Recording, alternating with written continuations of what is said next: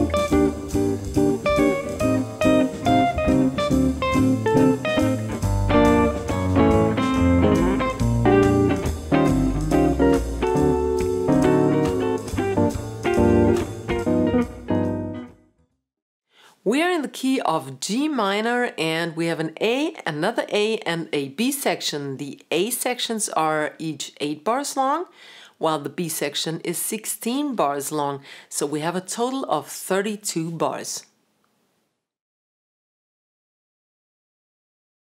Alright, we're in the key of B flat and we start on the second degree and that's the C minor chord, C minor 7 whenever we have a jazz chord starting on the sixth uh, string on the E string, we do not play the A string. So that is true for the entire song for almost everything in jazz on jazz guitar. We start the C here on the 8th fret of the E string, then we mute the A string, all right, by touching it ever so slightly. D, G, and B strings have the 8th fret too. I bar over this.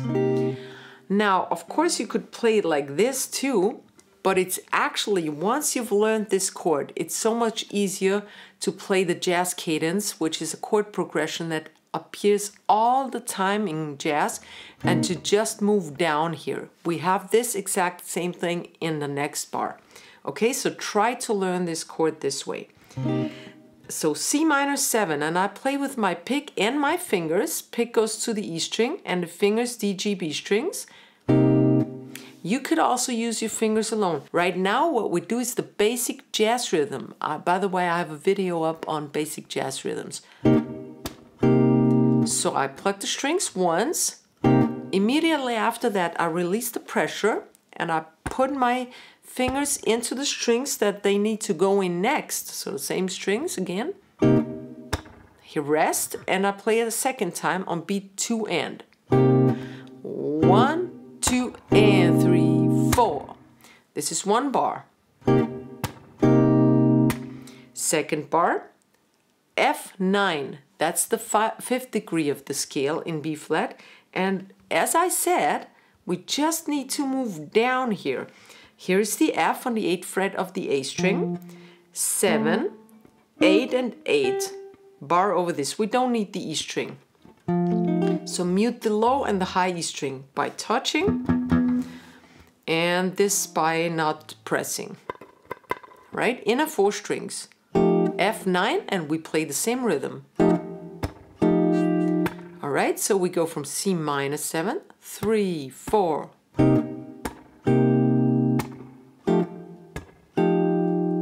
F9. And now the cadence finishes off with B flat major. That's the one chord.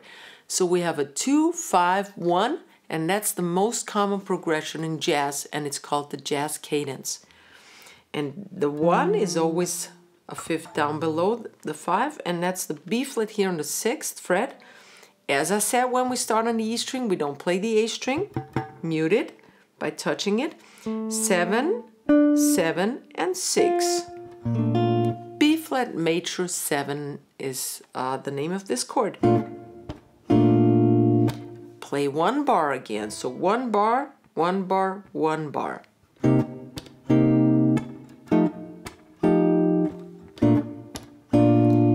And now we have the fourth scale degree, and that's always be uh, below the uh, first degree, and that's an E flat. And the fourth degree of a major scale is always also a major chord, and that's the E flat major 7. 6 of A, 8, 7, 8, inner four strings. See all the chords from the A string are the inner four strings, and from the E strings we play E, D, G, and B, right? So now I want you to remember, to memorize, sorry, to memorize this 2 5 1 uh 2 5 1 4 chord progression, okay? 3 4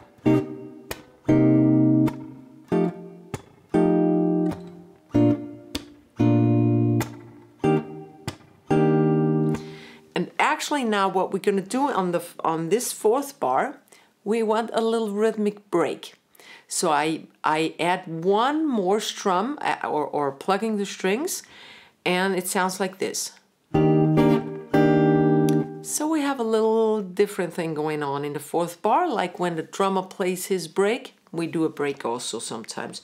I play all the strings, the inner four strings I mean, then just the fingers, uh, D, G and B strings, rest and then all fingers again. So one more time. Right? That's for the fourth bar. A little change. Then we have, that was the major cadence, two, five, one, and the four is what I call the connector because it often connects to the minor cadence. Uh, a half diminished or A minor 7 flat 5. Here is the A on the fifth of the E string. The A string is muted by touching it with your middle finger and then I have the fifth, the fifth, and the fourth.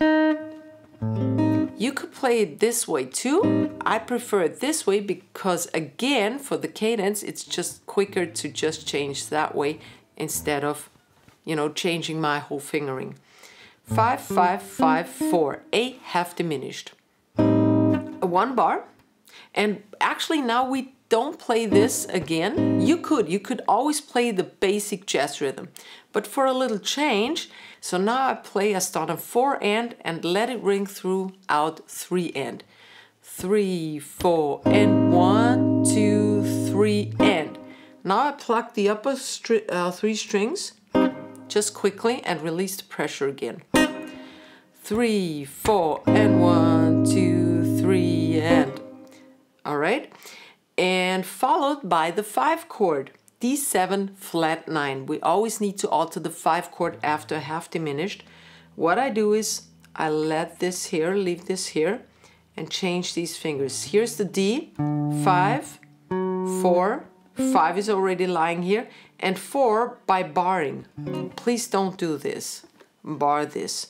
5, 4, 5, and 4 of B. And now you have to practice going from the 2 chord to the 5 chord. A half diminished, D7 flat 9. All right? 3, 4, and 1, 2, 3, and. And here's a break again. All the strings, upper strings, all the strings.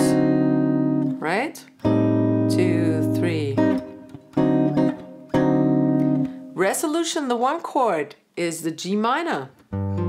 That's the key we're in, G minor. Three, three, three, three, like the C minor in the beginning, but on the third fret because here is the root, here is the G. Regular rhythm. And now G7 sharp 5 that leads us back to the C minor, to the beginning again. So um, G is here obviously, F, B, and D sharp or E flat.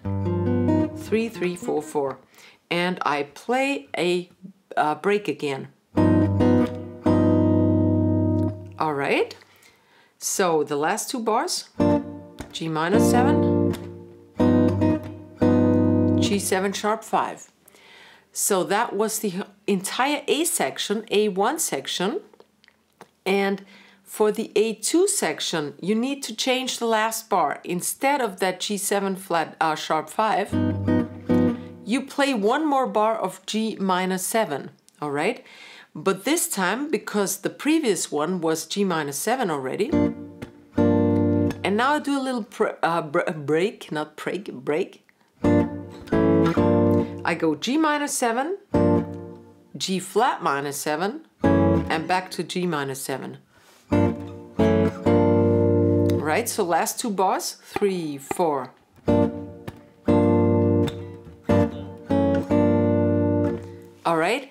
And here is the entire A section for you. One, two, three, four.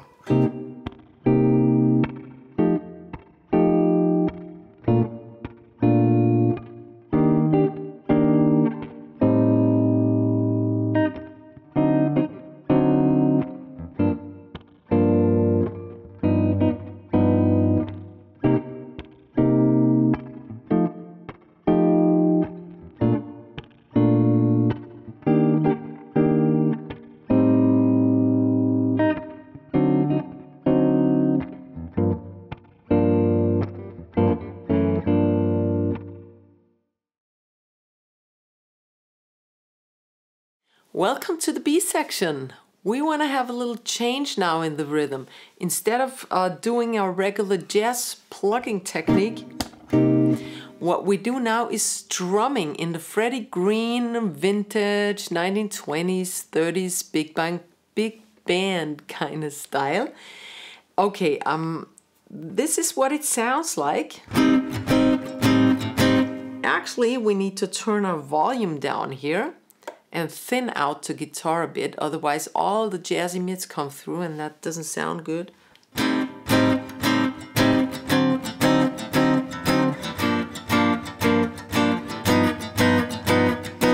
Alright, I'll show you how this works. It's not as easy as it looks actually to make it sound really cool. First of all, I use a really pointy pick and what I do is, a little too much light here, what I do is I switch it, I turn it sideways so I have the much uh, rounder edge here. All right, and I play, so I do this, move, and now I have the round side here. But you could also use your thumb. If you've used your fingers before, please do it with your thumb. Sounds so much smoother. Okay? And we start now with the same cadence uh, that we ended the A uh, section and now is uh, the minor cadence, A half diminished, right? Five, five, five, four. And actually what we do is we play four beats downstrokes. One, two, three, four. That sounds simple. First of all, strum through the strings kind of slowly. I mean, not super slow, but kind of arpeggiate. Do this. Don't go. We, we don't want to play funk here. We want to play vintage jazz. So we strum through the strings. Let me give you a better angle here.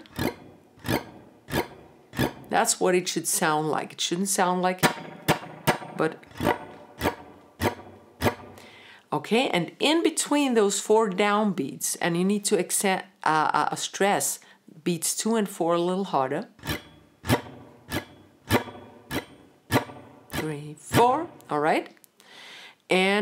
Between those, we play the eight notes upward motion. We kind of very lightly go up here. I call this steering. I have a strumming video out, surprise, surprise, where I explain all this in detail, plus several other rhythms with strumming, okay? Um, so,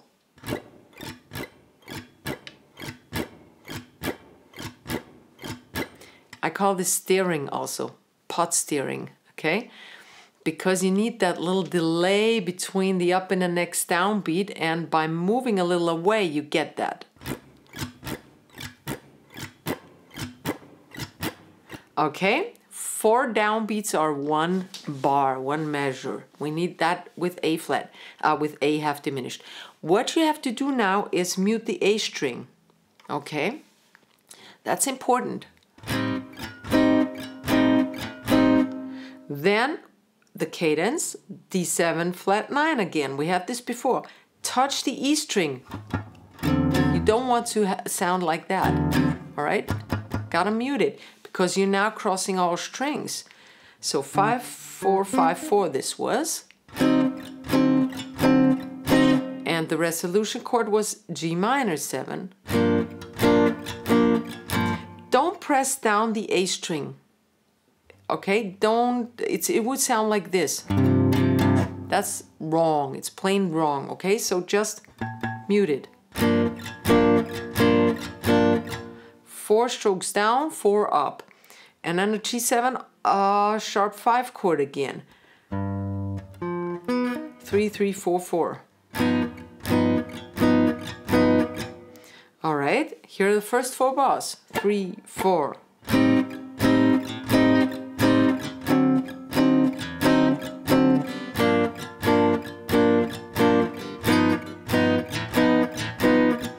Now we go to the major cadence. And you see, the song is easy to learn. Any song that has a lot of cadences in, and that jazz does that, is easy to memorize. So uh, now you play the major cadence. That was uh, C minor 7 on the 8th fret. F9, 8, 7, 8, 8. Mute the E string, please. One chord was B flat major 7, 6, 7, 7, 6. Mute the A string, but don't press it. And the four chord does not belong to the cadence but is always connecting these two these cadences together in this song at least is E, e flat A major 7 6 8 7 8 same thing we had in the A section that leads us back to another 251 in minor again it's always the same thing A, A half diminished D7 flat 9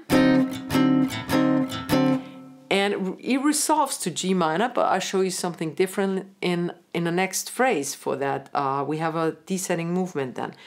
So I'm gonna play through these 10 bars of the B section right now with strumming. Three, four.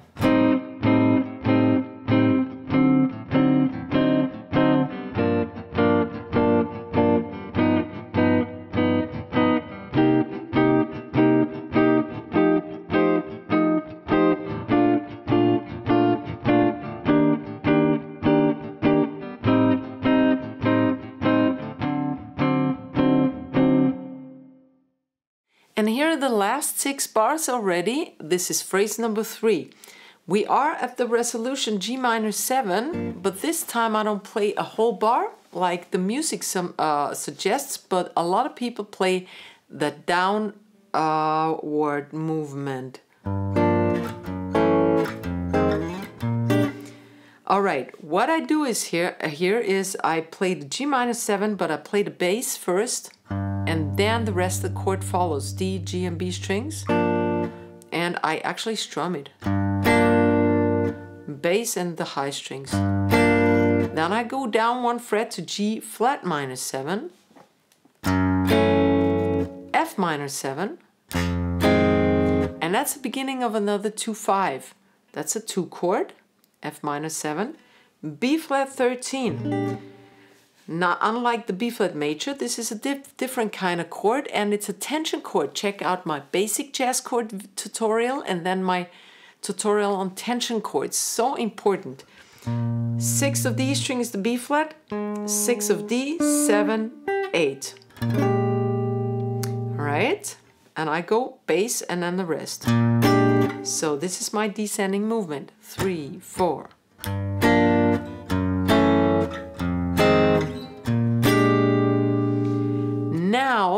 The music sheet suggests A half diminished. Most players don't play that because it sounds boring. We've had it now for, I don't know, 100 times. So what we play is E flat uh, we play a substitute, E flat 9. Kind of everyone plays it like that. You could also play E flat major, but most people play E flat 9. Here's the E flat, 6th fret of the A string, 5, 6, 6, inner 4 strings. And I do a different, a kind of break now, a different one we didn't have before. I play the inner 4 strings, I slide down to D9, play the bass, and go up again to E flat, play all the strings, plus the high strings, high three strings, or all of them together again. It doesn't really matter. And it starts on one end. The one is a rest. I kind of hit the strings to make that rest and to feel the beat. Three, four, one.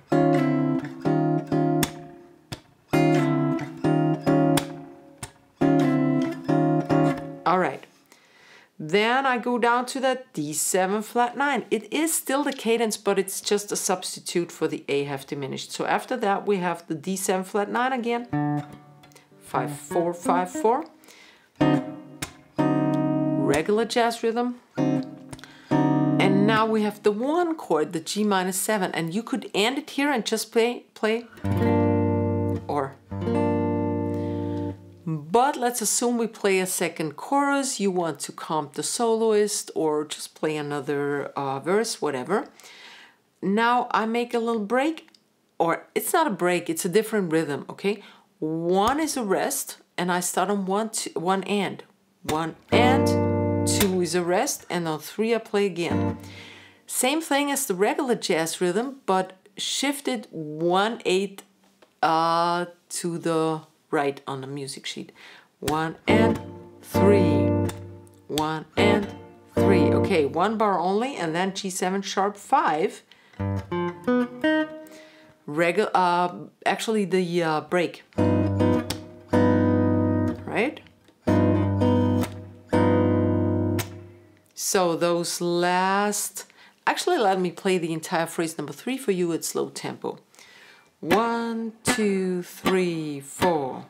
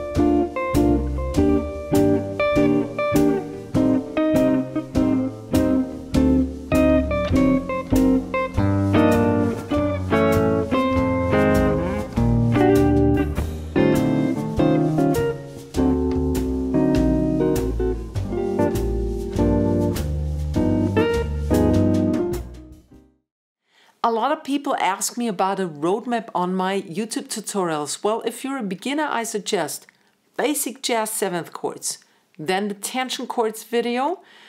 Uh, together with that, along with that, uh, the uh, regular rhythm, jazz rhythm, and the uh, strumming rhythm. Then, if you like Autumn Leaves, I have a super easy chord melody tutorial up here on YouTube of Autumn Leaves. Usually, chord melody is a hard thing to do, but uh, my Autumn Leaves chord melody tutorial is really easy, beginner friendly. And also, I have a solo lesson on Autumn Leaves, so check out all of these. I see you soon. Servus, Baba.